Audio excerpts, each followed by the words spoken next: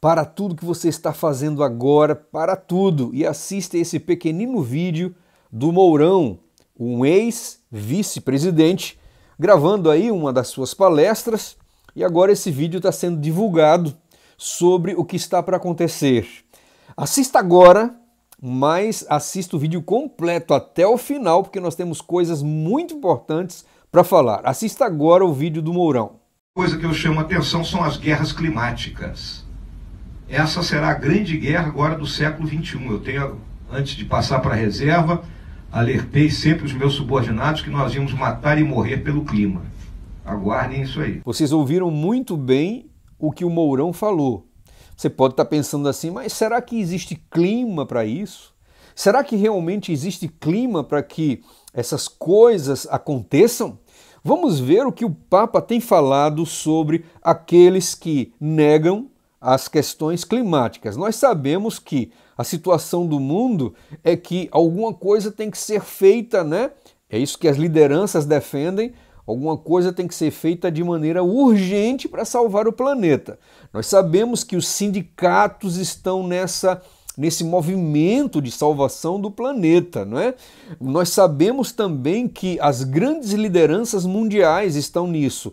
Nós sabemos também que os artistas estão envolvidos nesse movimento. Nós sabemos que as mídias sociais estão envolvidas em todo esse movimento, né?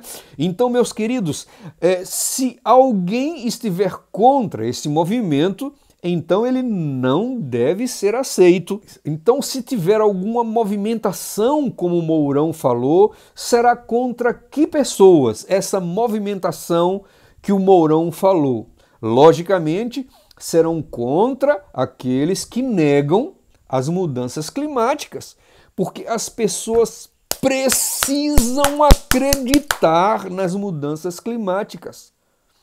As pessoas precisam acreditar.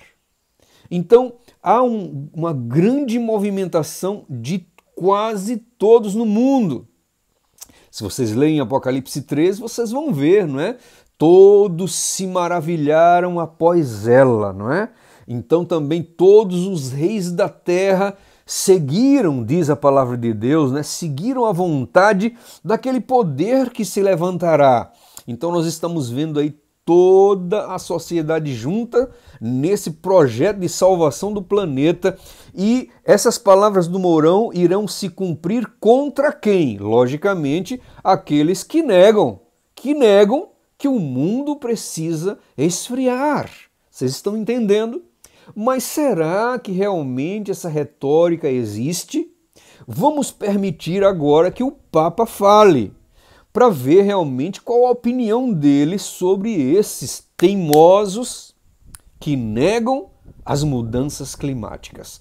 Vamos deixar que o homem vestido de branco, conhecido também muitas vezes na palavra de Deus, né? Aqueles que se colocam contra as coisas da palavra de Deus, aqueles que quebram os mandamentos, né? Esse poder que quebraria os mandamentos, né? o mandamento da adoração de imagem, o mandamento do descanso original no sábado. Né? Então, aqueles que se colocam contra os mandamentos de Deus, aqueles que se colocam contra a palavra de Deus, são conhecidos como anticristo. Vamos mostrar agora a opinião desse homem de branco, aonde nós já entendemos o que é que a palavra de Deus fala sobre todos esses né, que se colocam é, contra o que a palavra de Deus fala, é, colocando as tradições acima da palavra de Deus.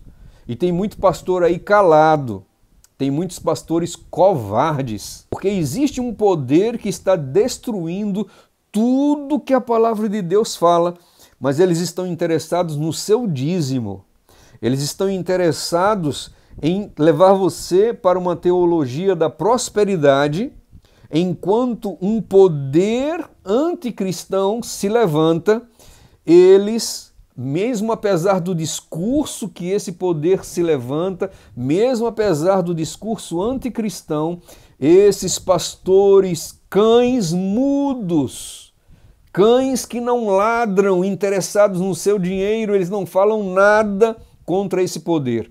Mas graças a Deus existem pastores honestos, defensores da palavra de Deus, que colocam a palavra de Deus acima de qualquer tradição, que pregam a verdade, e outras pessoas receberão a luz, e outras pessoas aceitarão que a Bíblia e só a Bíblia deve ser seguida. Vamos agora entender se realmente o que é que é falado contra esses que negam as mudanças climáticas, para ver se no futuro, realmente muito próximo, as palavras do Mourão irão se cumprir ou não. Vamos ver a retórica do homem de branco. Vamos lá? Papa Francisco afirma que os negacionistas do clima são estúpidos. Interessante, não é? Se você quiser mais informações, faça a pesquisa. Essas informações estão em inglês, mas você vai achar em outros lugares. Então nós temos aqui que o Papa Francisco considera os negacionistas do clima aqueles essas pessoas como estúpidas. Vamos ver outra afirmação dele. Papa diz que negar mudanças climáticas é uma atitude perversa. Então veja bem, o que Mourão disse é que vai acontecer o que vai acontecer. Contra quem? contra os perversos negadores, negacionistas das mudanças climáticas. Vocês estão vendo aí a retórica, né? Papal. Também nós temos uma manchete agora, essa manchete é de 2024, mês passado, dia 27 de maio, diz assim: Tolos não acreditam na mudança climática. Então, quem não acredita em mudança climática é um tolo, é também um estúpido e também é perverso, segundo o homem de branco.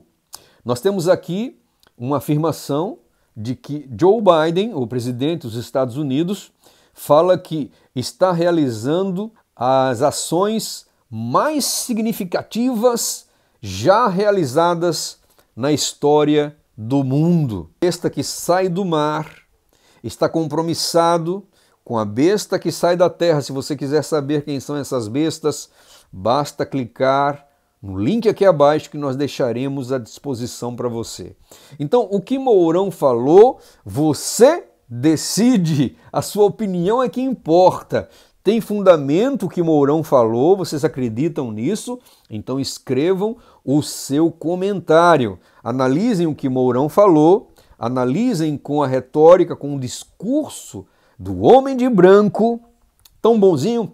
Vejam então o que é que ele fala sobre os negacionistas e façam aqui um comentário. O seu comentário é muito importante, nós somos parceiros, a gente fala aqui e você é livre para colocar aqui a sua opinião. Deus te abençoe muito. Sabemos que no final dos tempos um poder se levantará para dizer a você a maneira como você deve adorar, a maneira como você deve se portar, a maneira como você deve andar. Esse poder dirá a você a maneira como você deve pensar. Esse poder dirá a você a maneira o que você deve comer e será maravilhoso, não é verdade?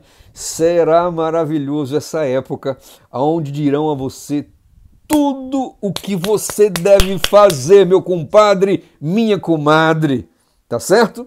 Então, escreva aqui a sua opinião Deus te abençoe muito. Nos veremos no nosso próximo vídeo. Andemos com os pés na terra, mas com os olhos no céu, porque aquele que vem virá e não tardará. Não se cansem quando digo: o trem da profecia avança a toda velocidade. Quer você queira, quer não. E esse trem profético que avança a toda velocidade, ele não tem freios.